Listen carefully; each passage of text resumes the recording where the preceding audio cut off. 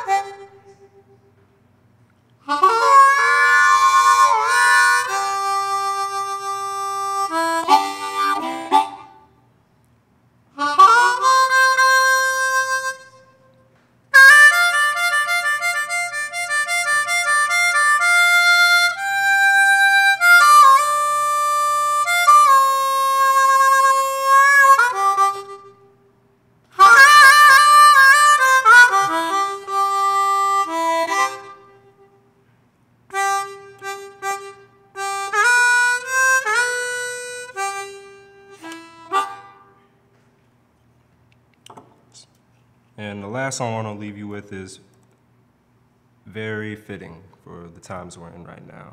Um, it is the summertime, and we must not forget that. This is a time where the sun shines upon our skin. It is where we get that energy. For those with that melanin, it is, it is our it's our nourishment. It is the time for us to recharge and be re-energized, and it's time for us to, to just bask in that sun. I, I grew up in the South. I grew up in Stone Mountain. I love the summer. I love seeing the magnolias bloom. As kids, that's where you go to hide. That's where you go to get the shade. And when you're in those trees, that's the song that I'm hearing. That was the song that I used to hear growing up. And I want to make sure and leave y'all with this last song. So, Summertime, originally composed by George Gershwin, covered by many. My favorite cover was by Nina Simone, and I'm about to give y'all my little variation of it, but I hope you enjoyed.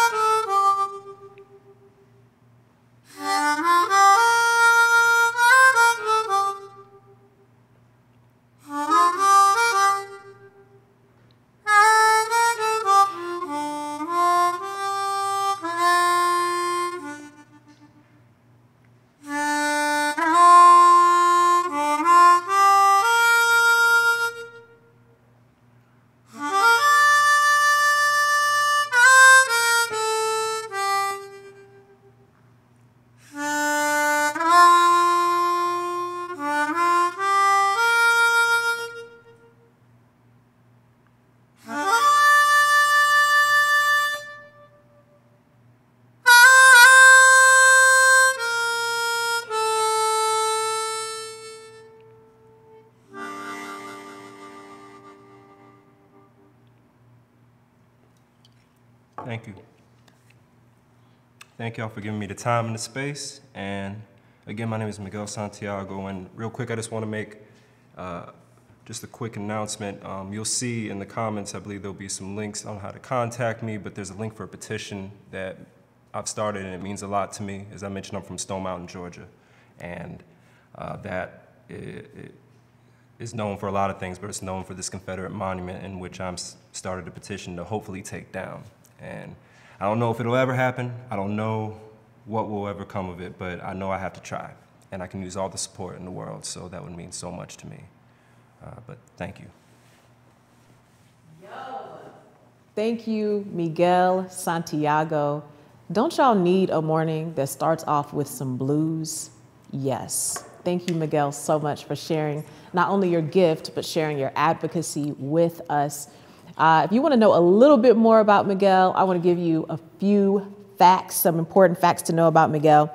First of all, I want you to know he's a recent graduate of Harvard's Graduate School for Education, where he studied educational policy, and he recently served as the regional director for the American Voices Project out of Stanford University's Center on Poverty and Inequality. So, that brother that brother does some good work along with playing the harmonica. If you want to follow Miguel, you can follow him at another underscore brother 87. And I do want to bring attention to the advocacy he is doing to remove the Confederate statues from Stone Mountain. If you are interested in signing this petition, you want to go to change.org slash take stone mountain down. Yes. And good morning, Creative Mornings people. My name is Amina Brown, and I am one of your co hosts. So I'm excited to be here this weekend. Blake is on vacation, so he left me here with y'all, and I'm happy to see y'all. So I hope y'all are doing well, taking care of yourselves this morning. We have a great event, so I hope you're in your PJs or whatever your comfy clothes are, and I hope you got your coffee.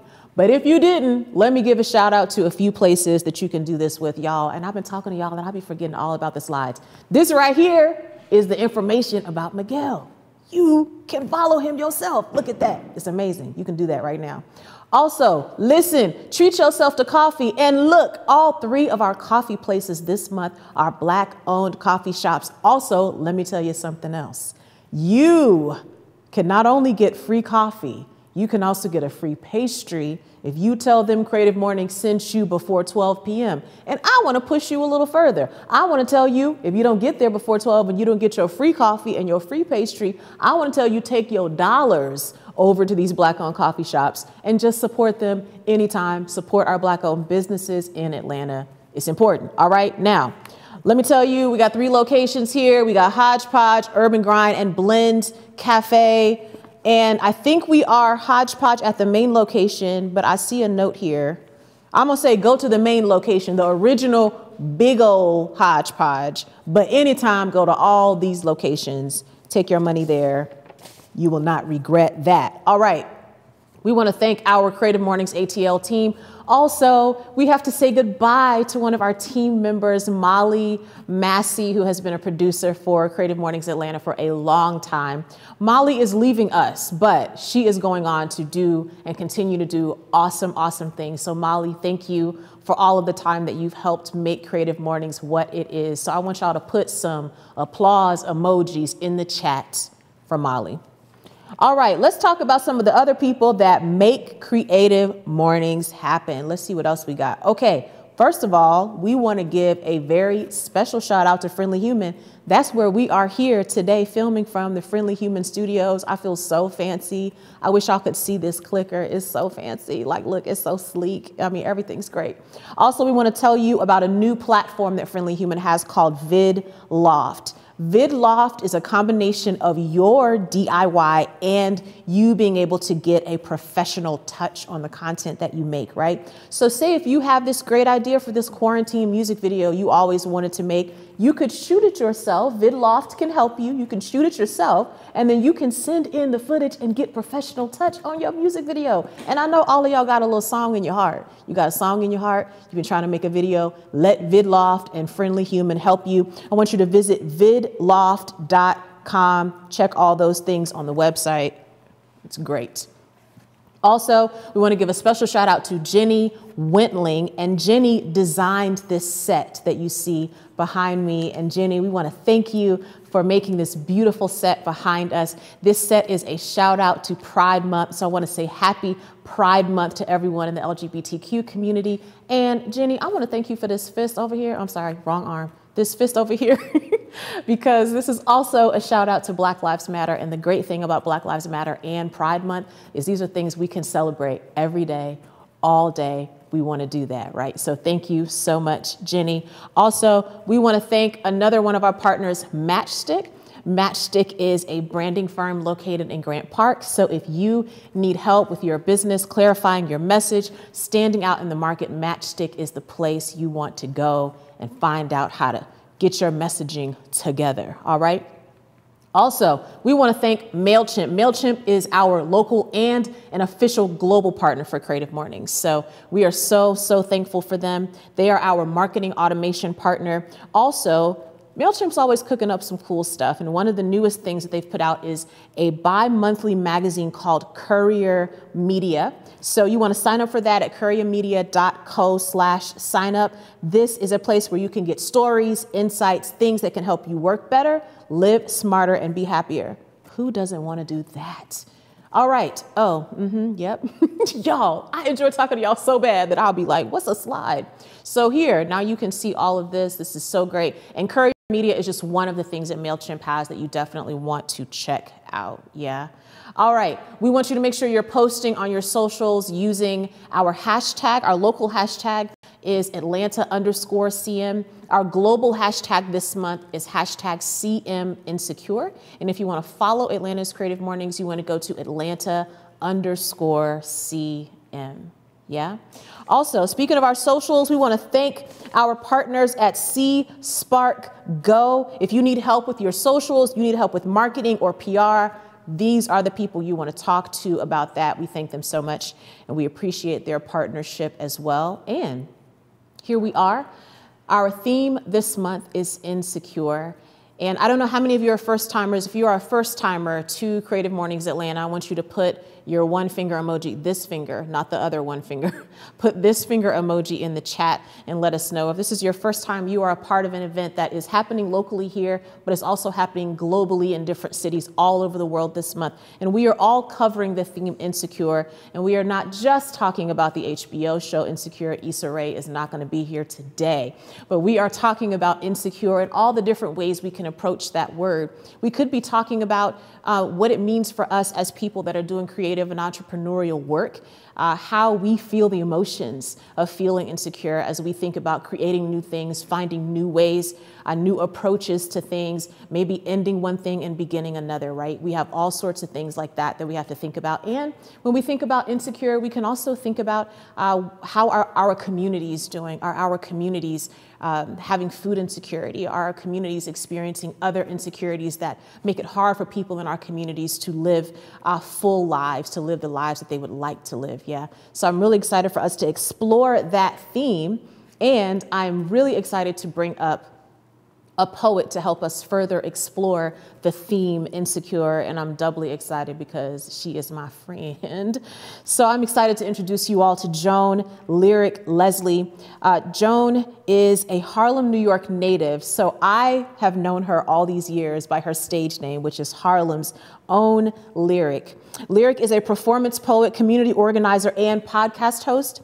Lyric has been a member of two national poetry slam teams her work has been featured on Button Poetry, Right About Now, All Def Poetry, Voyage ATL Magazine. She is a Southern Fried Poetry Slam finalist, two time Queen of the South Poetry Slam champion. I want you to show all your applause emoji love to Harlem's own lyric.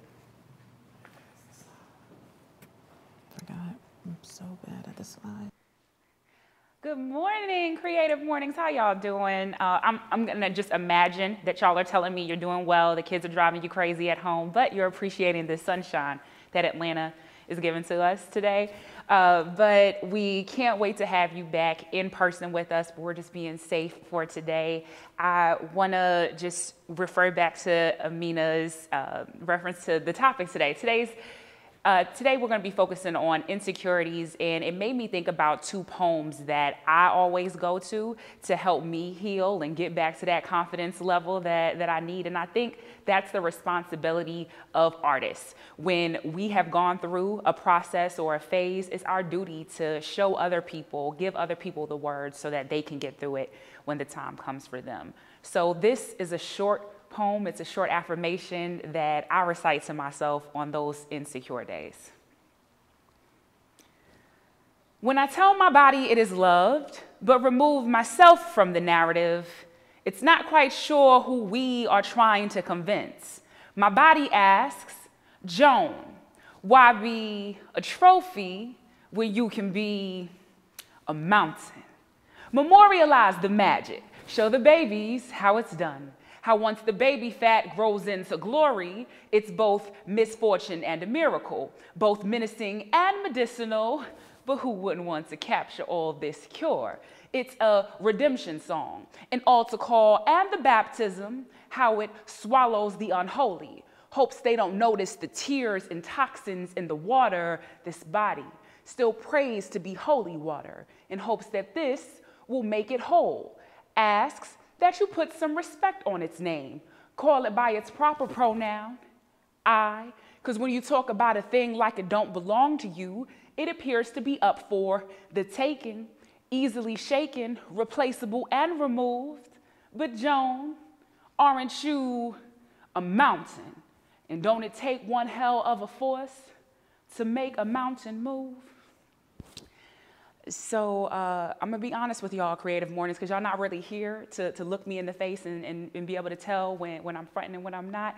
Uh, some days I don't wake up and feel like a mountain, right? So if, if that's you and you can relate, uh, you don't have the secure days every morning.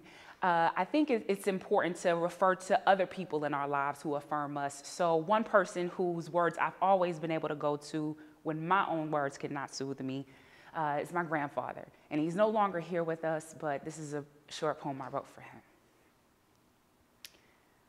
It's 1998.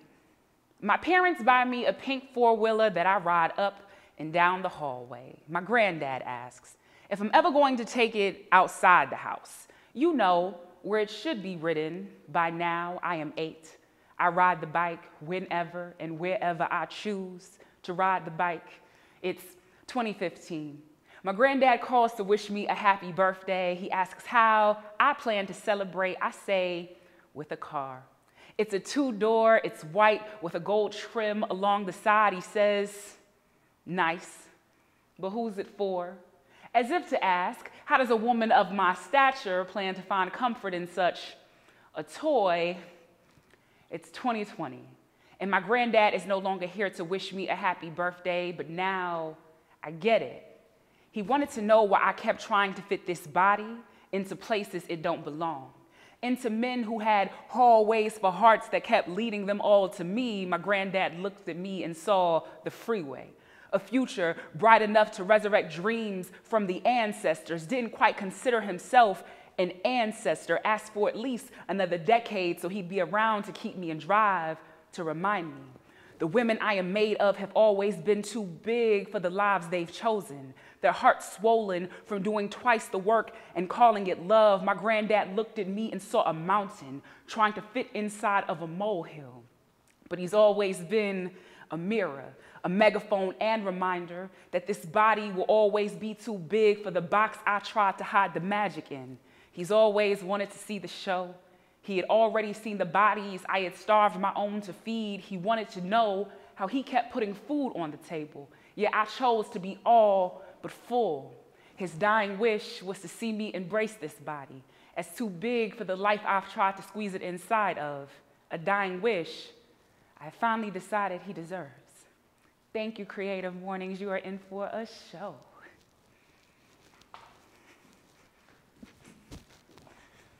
Y'all give it up one time. Give it up. Put your applause emoji in the chat, with whichever side it is. Put applause emoji in there for Harlem's own lyric. Harlem's own lyric is going to be putting out a book this fall, so you want to stay up on that. You want to follow her on socials and go to her website. Also, if you are a poetry fan, Harlem's Own Lyric is the host of the Fifth Thursday open mic at Urban Grind Coffee, which is one of our coffee partners today. So you can go to at Urban Grind ATL, and on July 30th, you can experience open mic from your IG. I mean, get into that. So thank you, Harlem's own lyric. I told you she's dope. All right. We also want to thank uh, another one of our global partners, WordPress.com. Shout out to all of you that know how to use WordPress. I thank you for your service, as well as WordPress has a new series for you to get involved in. It's actually a partnership between WordPress and Creative Mornings, okay? So it's called Own Your Content. And how many of us who are doing creative work know that it is very important to know what it means to honor your work by owning your own content. So definitely check this out on the WordPress platform. That's a jam. We also want to thank another one of our partners. This is our official project management partner, Basecamp. Here's what you need to know. Basecamp has a new service that they are coming out with called Hey. I like that. It's a new email service. It's um, like what you might like about Gmail, but more delightful. And who doesn't want to make their email more delightful? So this thing requires you to go in there and sign up. Okay, so you can email I want at hey.com, or you can just visit hey.com, or maybe you could say hey at your home and like a thing will pop up. You just don't know what's going to happen. So make sure you check out hey.com to get all the information on that. Next month, July, our theme is underdog, and our speaker is hip hop artist and producer Andy Mineo. You don't want to miss that. Andy Mineo has 1.7 million Spotify listeners. He's had Billboard charting records and sold out tours across the US and Europe. So you definitely want to be a part of that next month. One more thing I got to tell you about Andy, real quick. You can also listen to, there's an interview that Blake did with him on Blake's podcast, Creative Rising. And he's talking to Andy about embracing restraint. So definitely make sure you check that out. You'll be all prepared for next month. Now, we are excited to talk about our speaker today. We are really happy to welcome. Uh, he is known colloquially among a lot of us here in Atlanta as John O. But names are important, and I want to pronounce his full name because we want to pronounce everyone's full names because names matter, right? So we know him as John O, but his full name is John Onwuchekwa. Oh, I love that name. It's amazing. So listen, these are the things you need to know about John Onwuchekwa. He is husband to Chandra and father to Ava. Moved here to Atlanta in 2009 to help restore communities here in Atlanta. Also, most recently, is an entrepreneur attempting to pour a new narrative alongside Portrait Coffee, as well as being a pastor and an author. We want to welcome to our Creative Mornings Atlanta stage our speaker today, John O. All right, am I on? Excellent. All right, we're going to make this little COVID safe handoff. Um, happy to be here with y'all. It's an honor to share this stage. And before we start, uh, one thing I do just want to bring to your attention um, out there is that it's been 105 days since uh, Breonna Taylor was killed, and the men that killed her are still free. It's sobering and that's part of the reason why we do what we do. So I'm just going to bring you into a little bit of what we're trying to do with Portrait Coffee, and we're trying just to pour a new narrative. I don't know if I need to click it right now. Uh, y'all can just embrace the awkwardness that comes with us trying to do this um, and act like you're here, but you're not really here. Here's what we're trying to do we're trying to pour a new narrative in coffee. Um, for all the type A's out there that already have your notes app up and you're trying to uh, take notes, I'm just going to give you my two points up front. And the two points that I have is this um, insecurity is always a thief, it's always a thief. And um, geography is never an accident. That one's going to come later. So, uh, just a little bit of, uh, about me. Um, I didn't like coffee nine years ago. So I got into it um, reluctantly. So I tend to live my life by a set of rules that I find out when people want to extend hospitality to me. Uh, if I just have these arbitrary rules of what I do or don't do, um, I don't come off as rude when I reject it. I come off as principled. So in my 20s, I came up with just a list of arbitrary rules and there are things like this. They would say, John, why don't you smoke? And just the rule that I came up was, um, I don't enjoy things on fire that close to my face.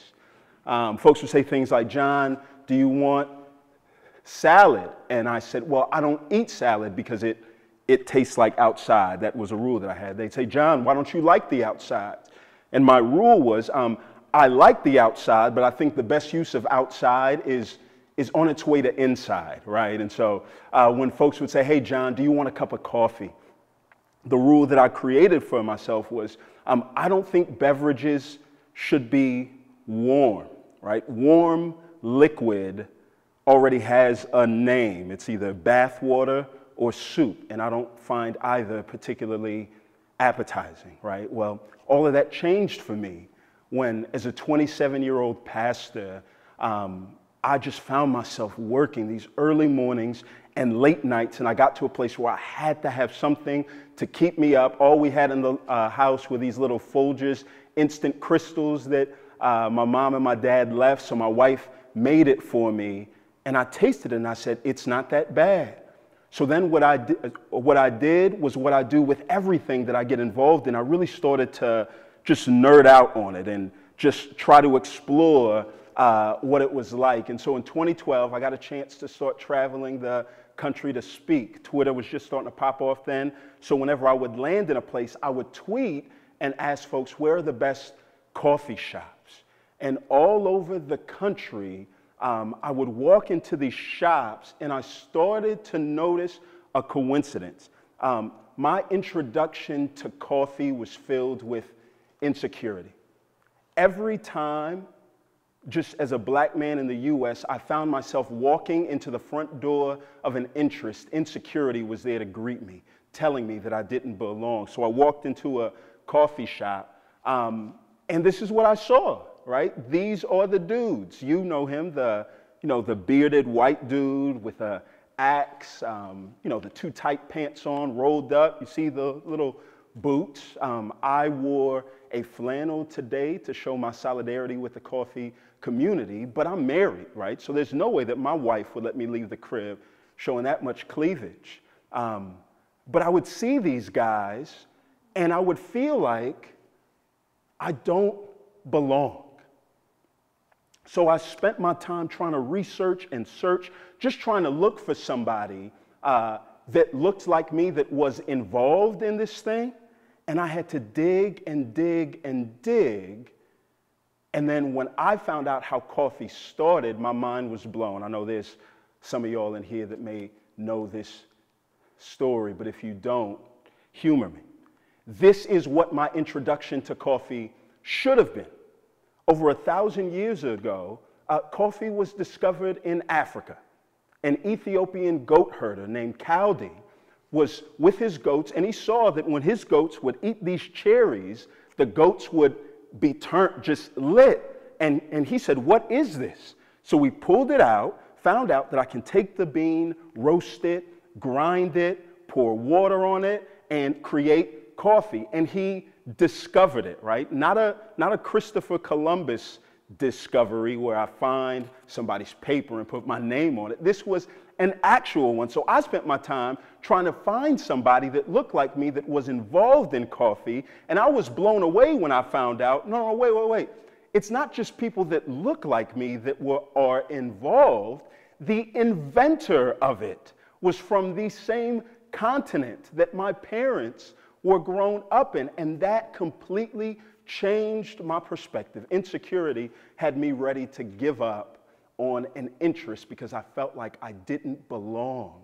But then the more and more that I dug and found folks uh, that looked like me started it, I felt like, yo, I've got to carry this on, right? And the reason why I say that is because it's crazy, right? I was frustrated that I had to dig and I had to do all of this hard work to find somebody that looked like me. The inventor of coffee had no clue that a thousand years later it would be the second most consumed beverage globally, right? Water, coffee, Coca Cola.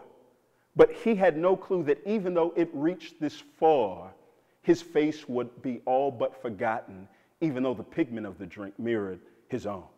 So that set us on a spot where we're like, yo, other people have to know this story. Insecurity is a thief. It'll have you convincing, or it will convince you that forfeit is better than failure. And once we saw this, once we saw this portrait, uh, things changed for us. Point one insecurity is always a thief. Point two, um, geography is never an accident. Geography is never an accident. Uh, 11 years ago, I moved to Atlanta um, as a 25 year old to start a church with a group of folks here in uh, downtown.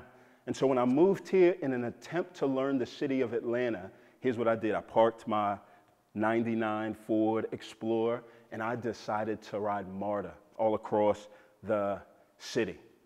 And so what I found out was that um, it's interesting how much you notice about a journey when you don't really care about the destination.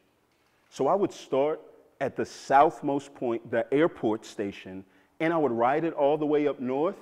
And here's what I found.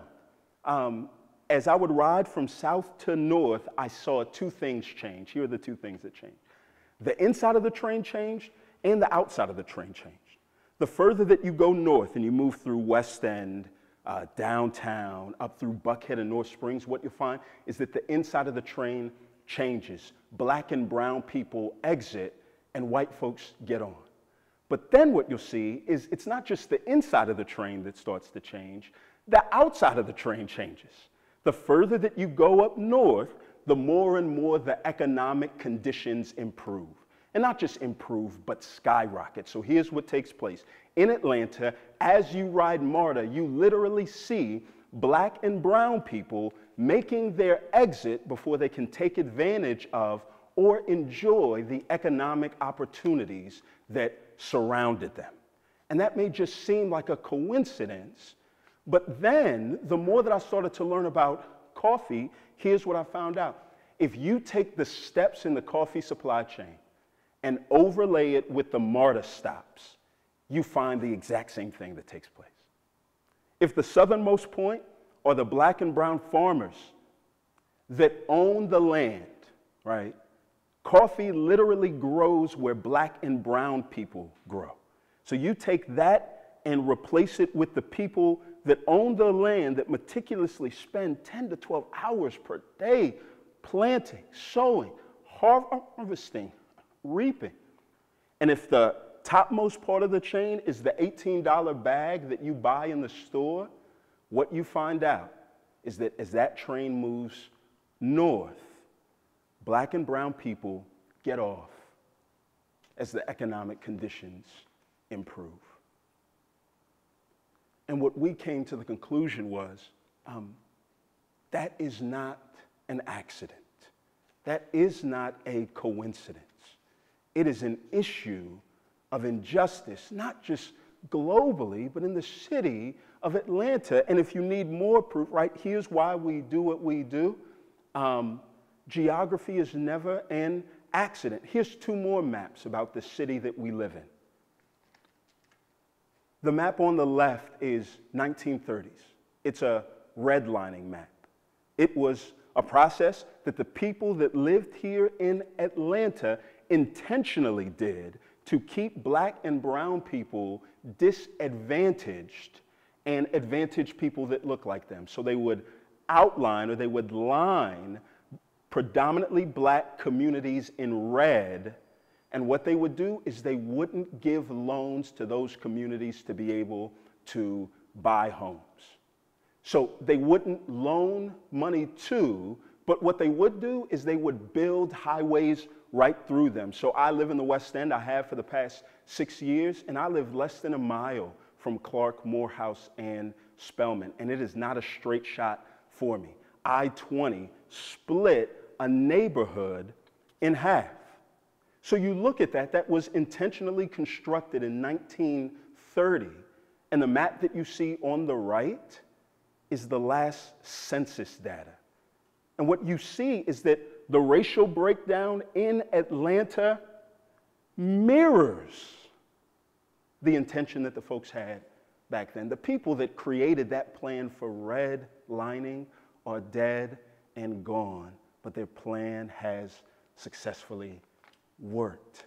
Geography is never, it has never been an accident.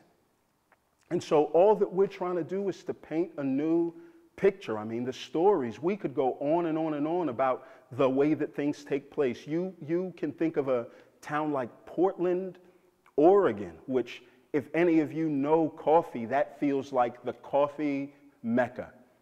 And there's a reason why you'll find a bunch of the first picture, the bearded, axe wielding, uh, too tight pant, cuffed uh, jeans, wearing. There's a reason why that's the picture that you think of when you think of coffee. Geography is never an accident. Here's a little history lesson on Oregon.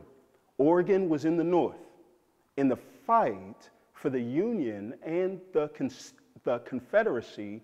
Oregon said, We want to be on the side that doesn't have slaves. So in 1859, Oregon joined the Union in the fight against slavery, but written in their Constitution which was not undone until 1922, was a clause that said, We don't think black folks should be slaves. However, it is illegal for black people to own property in Oregon. Geography is never an accident, and it has implications. So, seeing all of this, one of the ways that we've thought about addressing insecurity is what we're trying to do is to say um, insecurity is always a thief, but insecurity can be and has to be evicted. And the way that you evict insecurity is not by prescribing behaviors, it's by changing pictures. Nobody's behavior will ever rise above the vision that they have. And so at Portrait, we're trying to pour a new narrative. We're trying to change the picture that comes to mind when people think of specialty coffee.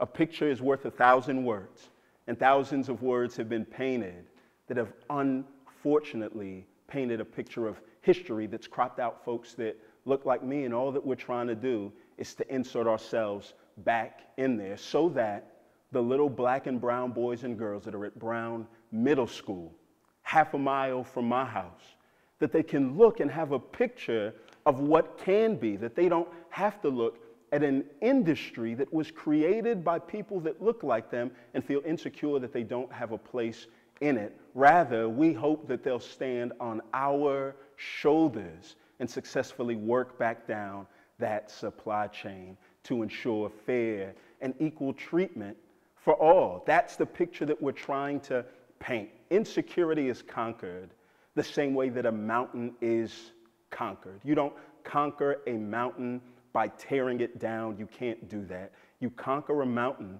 by climbing it and planting your flag on top of it so that people that are on the ground can look up, see a flag there, and say, Somebody's done it before. It can be done. That's what we're trying to do. And we hope that you'll uh, join us and continue to root us on in that journey. Thanks for your time.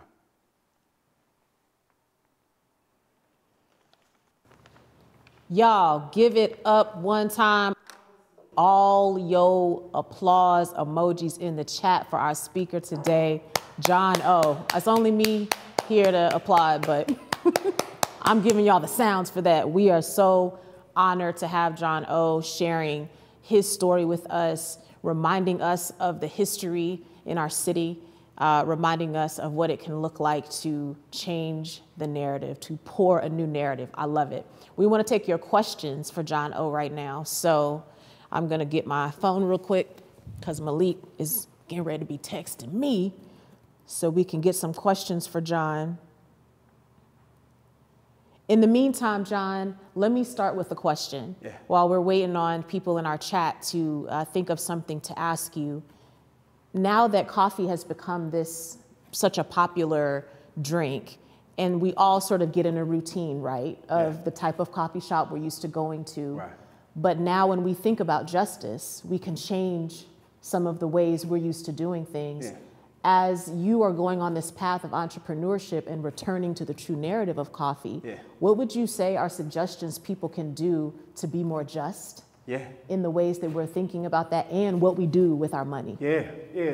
So, one is um, know your product, right? Know what people are doing. All right, here's what takes place in the coffee supply chain people that actually own the land, right? And just so we have a framework, the economic impact of coffee in the US for a year, yeah, yeah, I don't know, all right, I need to look here, um, for a year is $225 billion.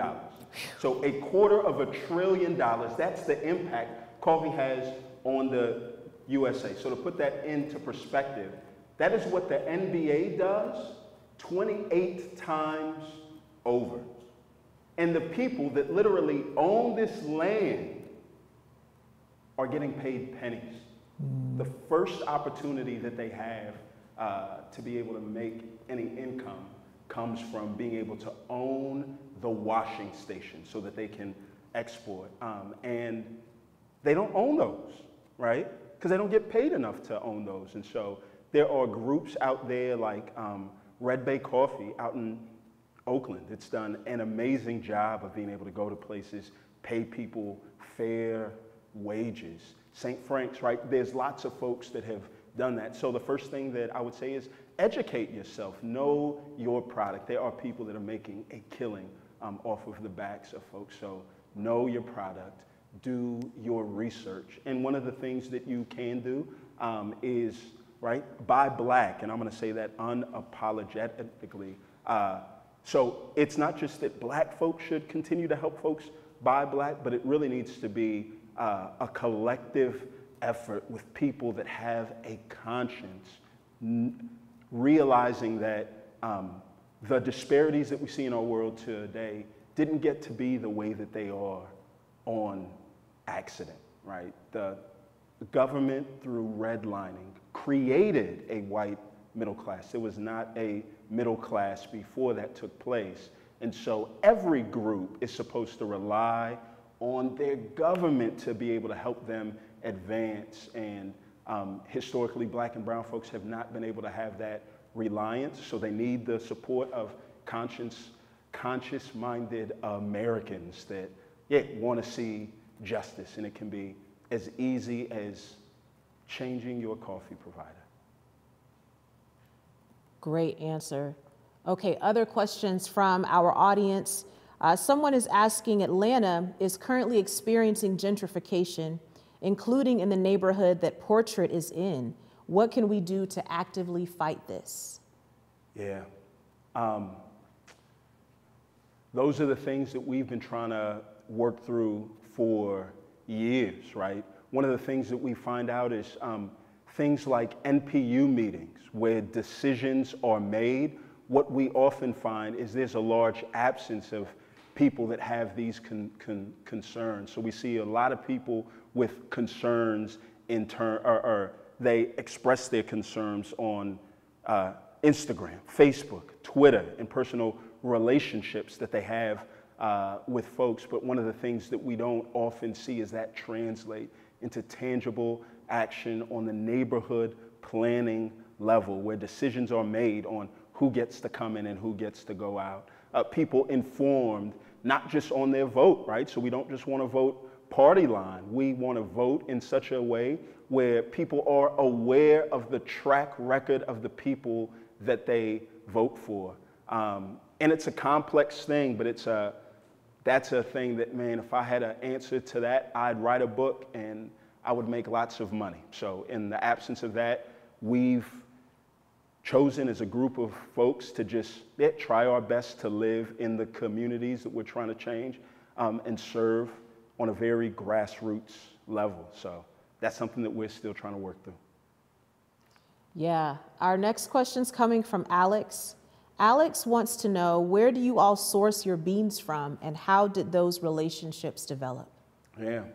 So right now we source our beans from an importer, right? So um, the tough thing is, is that um, when you're first starting out in coffee, in order to have a direct relationship with farmers out there, you've got to understand people are selling in tons, right? So they're selling in miles.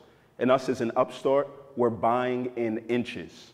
So we don't have a bunch of power. So right now we're trying to build relationships with the good importers that we know. Um, we're grateful because we've gotten uh, lots of connections with people that have been in the industry for some time and they're starting to allow us to ride their coattails. And so right now we're just trying to be as responsible as we can with the influence that we have and trusting that as our influence grows, we're going to try to carry the same integrity uh, with us. Molly wants to know how will you create your storefront to speak to the black community? How will it look different from all the whitewashed coffee shops in Atlanta? Yeah. Um, I'm going to give a little bit of homework for all the folks that are out here.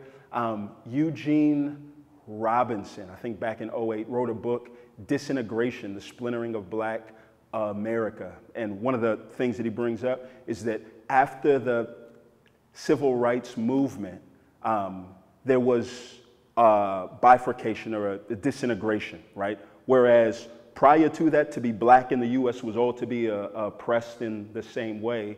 Now, what he brings up is that post this time, there's actually four different black Americas with all their concerns, right? You've got the transcendent elites, the Oprahs, the Jordans, the Tiger Woods, the Tyler Perrys. You've got the mainstream, right? So black and brown folks that tend to make as much as their white contemporaries. You've got migrants, folks like my mom and my dad that aren't from here but moved here. Um, and then you have folks that are mixed race, right? So they're black and white or black and something else. And what we find out is that uh, there's a wide spectrum of blackness. And so our aim is we want to be true to the entire spectrum. What we don't want to do is, um, yeah, I mean, so you're not going to walk in and see just afros and fists and kente cloths, right? Uh, but you're not, not going to see that. We're just trying to be true to the wide spectrum that is blackness and celebrate all of it. So it's the type of thing, uh, when you come in, you'll be able to feel the difference. Mm. Book Girl 1971 asks, what more can we do in the black community to make sure that our local businesses succeed? Yeah. Frequent support. Um, one of the things that I would say is uh, even before the action, sometimes we can be too quick to just act and tell me what to do. Uh, but one of the things that you find out is that, you know, willingness to help without the wisdom of the best way to help, what that's going to do um, is it's going to lead to you saying something like this. But I was only trying to help. And the only time that anybody says that is after there's been a major fallout. So the first thing that I would say is um, if you're on here and uh, you may be white or you may have found yourselves in a place where I haven't experienced the effects of racism and I'm unfamiliar with all of that, then the very first thing that you can do, not the only thing, but the very first thing that you can do is learn. Learn that the problem is not just with um, income, the problem is with unfair treatment as it relates to uh, loans, building spaces. I mean, I think of our own story. There was one storefront that was in this place, Westview, and we had some dear friends in coffee. They looked at the space. Um, the landlord was providing them incentives, tenant improvement, all of this stuff.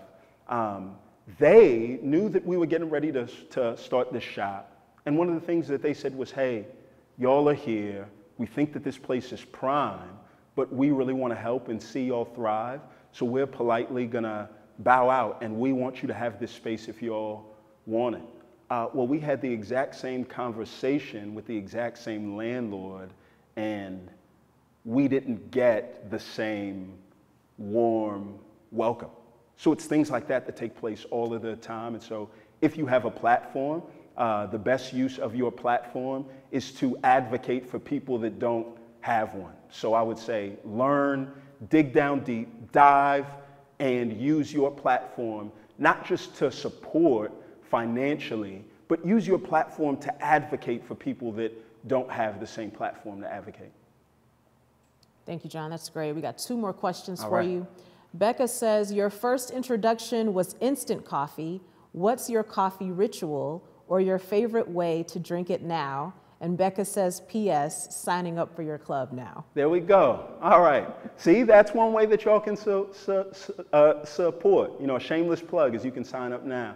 Uh, my favorite way to drink now is on what's called uh, Kalita Wave. One of the things that we're trying to do now is now, uh, there's a lot of people that tend to make coffee more complex than it is. Every morning, I get up at four in the morning, grind my beans, pour it over a Kalita wave. I usually have a um, more of a darker roast, something with rich chocolatey notes in the AM, um, and then my afternoon cup is more bright, fruity, uh, Ethiopian, uh, something like that. So, thanks, Becca. Uh, we appreciate you. I feel very fancy, John. I feel very fancy just hearing about the notes of the coffee. Oh, yeah. No, no, I got fancy. you, Amina. I got you. Our last question is coming from Sierra. Sierra asks, which, if any, of our local community leaders or city council persons do you think are doing a good job fighting systematic racism in Atlanta? Yeah. Um, so that is, is a hard question for me, and I don't want you to take my um, hesitancy to answer that question as an indictment on anybody more so than just ignorance um, in, uh, or as it relates to me. So um, I think I've been more aware on a grassroots level of uh, people that have done things. People like Justin Giboney with the AND campaign, uh, Mike Davis, and the group of folks that you'll hear about, City Roots ATL, that their whole aim is really trying to make Atlanta uh, cash that check that they wrote about affordable housing. So look up uh, the AND campaign, look up City Roots, ATL. Those are two grassroots groups that I think are doing a fantastic job. John O, thank you so much yeah. for being our speaker. Absolutely. Y'all put all, I want you to do two things. I want you to put your applause emoji in the chat, but I want you to take your dollars and applaud with them to support Portrait Coffee, to support uh, the black owned coffee shops and just black owned businesses in general. Uh, thank you so much, John O, for pouring a new narrative for us this morning. I hope you all have a fantastic rest of the day today, and we'll see y'all next month for our theme, Underdog. Have a great day, y'all. Excellent. Thank you.